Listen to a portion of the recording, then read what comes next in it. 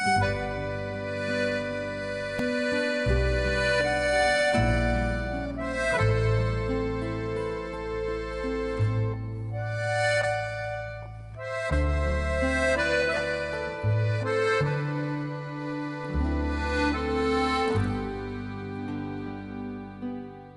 Destaque na economia do município de Caxias do Sul, desde o início da colonização italiana até os dias atuais, a uva ganhou seu momento de gala e glamour no início dos anos 30, quando foram realizadas as primeiras edições da Festa da Uva. A proposta inicial dos organizadores era dar visibilidade às novas variedades da fruta produzidas pelos agricultores do município. Não demorou para que o evento ganhasse força e popularidade até que na terceira edição, em 1933, surge uma novidade: um concurso para escolha de uma rainha da festa. A votação ocorreu por meio de cupons disponibilizados em jornais da época. Com 5.934 votos, Maria Elisa Eberle foi eleita através de voto popular. A coroação ocorreu no dia 17 de setembro daquele ano, apenas um dia antes do início do evento. No ano seguinte, quando Odília Zatti foi eleita, uma outra novidade. A novidade foi que os distritos e os municípios vizinhos de Caxias do Sul elegeriam as princesas da festa. Já nas duas edições seguintes, por falta de recursos, o evento não foi realizado, voltando somente em 1937, mas sem a eleição de uma corte, por falta de tempo hábil para organizar o concurso não teve tempo suficiente para fazer para fazer essa escolha, porque também estávamos vivendo outro período conturbado da história do Brasil, que é exatamente a, a, a questão do Estado Novo do Getúlio Vargas. Do final dos anos 30 até o encerramento dos anos 40, devido ao conflito armado que desencadeou na Segunda Guerra Mundial, a festa teve um longo vácuo de paralisação que durou 12 anos. Quando termina a guerra, também as coisas é, vão se acomodando, mas o trauma é, cultural que ficou por conta do sotaque, até hoje é um drama com o qual nós temos de lidar. Em comemoração aos 75 anos da colonização italiana e em virtude da expectativa pelo longo período de paralisação do evento, a festa da uva volta com força e mais organizada. A escolha da rainha do pós-guerra é cercada de muita polêmica por causa da rivalidade entre os municípios de Bento Gonçalves e Caxias do Sul. Essa festa, ela teve uma característica completamente diferente, ela foi uma festa regional. E aí as pessoas entenderam que por terem participação, inclusive com contribuição financeira, todas as cidades tinham a igualdade de apresentarem candidata à rainha da festa uva. Então a questão da eleição dos cupons foi no em cada cidade e o júri escolheu a rainha no clube juvenil numa noite em que duas uh, candidatas, a de Caxias e a de Bento Gonçalves, empataram.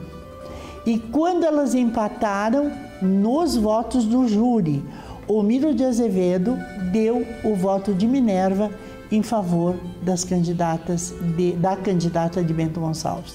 Aquilo caiu como uma bomba no salão do Clube Juvenil. Apesar das críticas generalizadas da população, a Bento Gonçalvense Terezinha Morgante foi eleita e conduzida ao posto de rainha em 1950. Quatro anos mais tarde, a Festa da Uva passa a ter um prédio exclusivo para receber o evento. Onde hoje está localizada a prefeitura, foi inaugurado o Parque de Exposições. Para a escolha da rainha, um novo regulamento foi elaborado. A organização estipulou que somente representantes do município de Caxias do Sul pudessem concorrer. Maria Elisa Eberle foi eleita através de voto popular.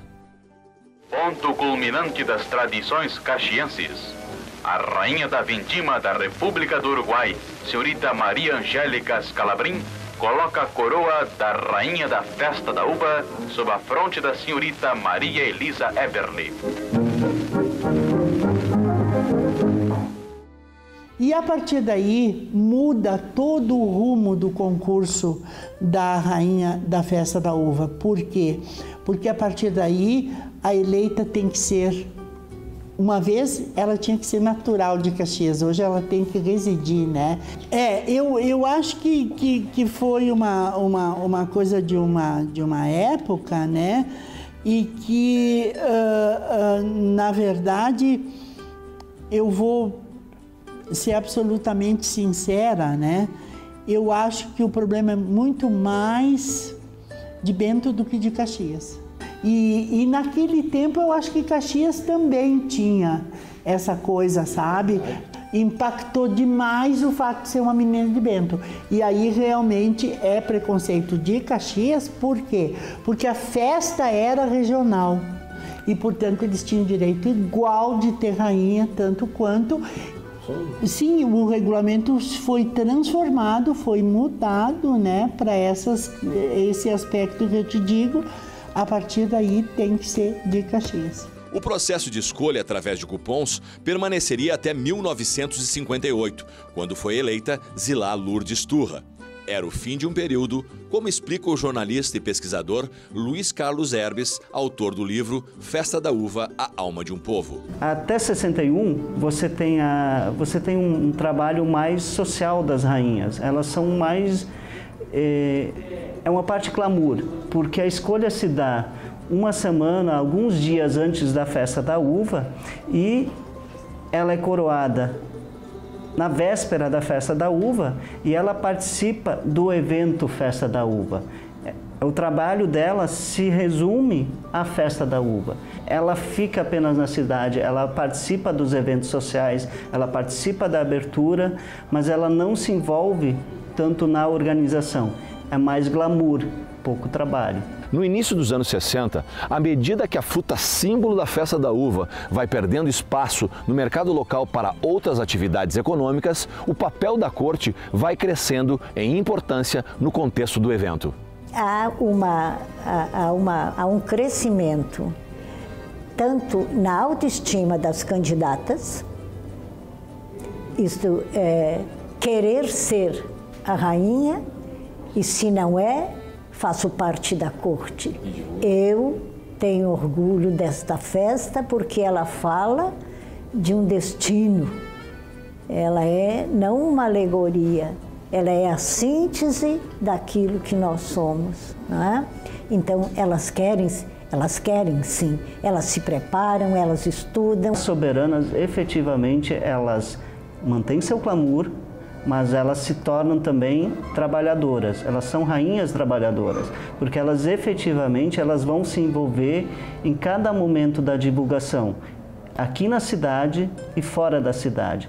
Elas vão juntos, elas pegam juntos, não é mais só clamor. Em 1961 é coroada Helena Luiza Robson. Agora, uma nova fase de trabalhos para as soberanas está começando. Com a escolha do trio de 1961, pela primeira vez, rainha e princesas viajam pelo Brasil para divulgar o evento. Na visão do jornalista Luiz Carlos Herbes, que fez um extenso trabalho de pesquisa e conta tudo isso aqui em seu livro, a década de 60 seria um divisor divisor de águas no que diz respeito à participação da corte na divulgação da festa da uva. Em 61, pela primeira vez, a escolha se dá algumas semanas antes da festa da uva.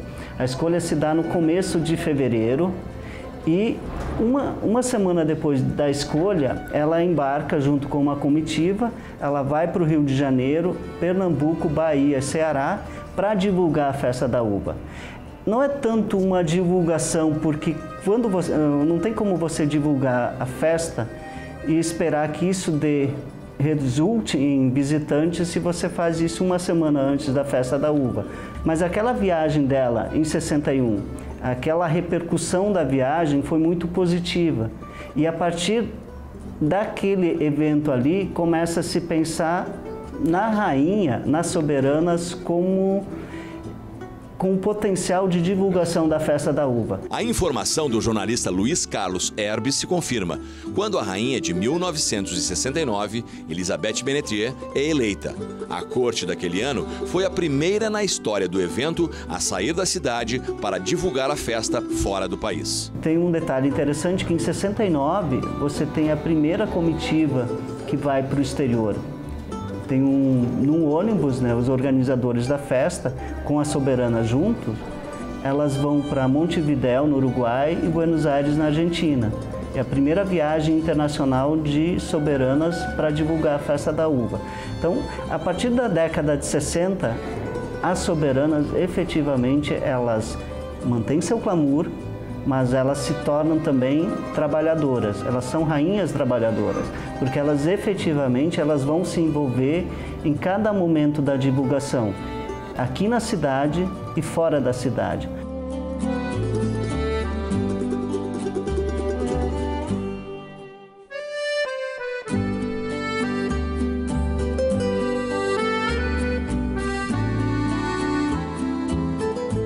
Elizabeth Menetrier também foi a primeira a receber um carro como premiação. Foram duas grandes surpresas: a coroa de rainha e um Fusca zero quilômetro. E a gente pode perceber que esse trabalho é reconhecido porque a partir de 69 elas acabam recebendo recompensas. Em 69, por exemplo, a rainha ela recebe um Fusca por conta do trabalho dela. Nas décadas seguintes, fatos marcantes, como a inauguração dos pavilhões da Festa da Uva Mário Bernardino Ramos, não evitou que o evento sofresse uma crise de identidade e gestão. Em 70, as coisas não são isoladas. Entra em crise o setor vinícola. E aí a gente tem a derrocada de várias vinícolas. E aí o que, que acontece com a Festa da Uva? A Festa da Uva vai ser adquirida pelo Estado. E quando ela vai ser adquirida pelo Estado, ela se cria a, a, empresa Festa da Uva, né? E depois as ações da Festa da Uva passam a ser adquiridas pelo governo do estado do Rio Grande do Sul. E aí a festa perde identidade. A margem dos problemas administrativos e financeiros em torno do evento cresce em importância a eleição da corte. A escolha que até então era realizada em clubes sociais como este passa a ser realizada nos pavilhões da Festa da Uva espaço mais amplo, maior envolvimento da comunidade e maior número de espectadores. Na primeira festa em que isso ocorre, em 91, o público aumenta de 600 para 3 mil. Ou seja, você tem um acréscimo, mais pessoas começam a participar desse evento da Festa da Uva. E na festa seguinte, é, de 94, aí sim você, tem, você já tem um público superior a 10 mil pessoas. Ou seja, você populariza o processo de escolha das, soberana, das soberanas. Você Não define. o processo em si, mas você leva as pessoas a participarem do evento da escolha das soberanas. Desde então, a participação da corte vem crescendo de forma significativa. São viagens e milhares de quilômetros percorridos por todo o país entregando convites participações em programas de rádio e TV, em rede nacional e até audiências com prefeitos, governadores e presidentes da República. Giovana Croza, atual rainha, já fez esse caminho dezenas de vezes. Trajetória que está chegando ao fim este ano. Ela sabe bem como o trabalho de divulgação é cansativo, mas tem consciência da importância da festa da uva para o município de Caxias do Sul. É cansativo sim, é um período de seis meses bem trabalhados, a gente tem uma correria diária, né, de seis, sete eventos às vezes por dia. Sendo calor, frio, dor no pé, um pouco com fome, um pouco cansada mas é muito gratificante no momento que tu recebe de volta toda essa divulgação que tu faz, todo esse trabalho através carinho, do carinho das pessoas. Isso gratifica muito e deixa a gente soberana muito feliz e contente por poder estar tá fazendo um trabalho, podendo ajudar de uma forma voluntária Caxias do Sul e a Festa da Uva. Cada festa que vem a gente tem que atrair mais turistas, mais visitantes para mostrar essa pujança que Caxias do Sul é e essa grandeza que Festa da Uva também tem. Giovana Croza vai passar a coroa neste mês de setembro. Em poucas palavras, ela deseja sucesso à sua sucessora. Desejo muito sucesso que venha a nova festa de 2016 de Imagens e Horizontes. A maratona de viagens e trabalho de divulgação para o novo trio vai começar. Além de sucesso, elas vão precisar de muita dedicação, fôlego e carinho para não deixar passar em branco a maior festa comunitária do Brasil.